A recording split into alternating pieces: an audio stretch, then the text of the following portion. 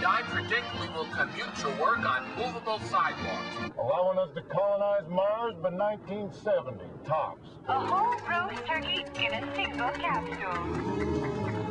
Imagine picking up the children from school with your own personal jetpack.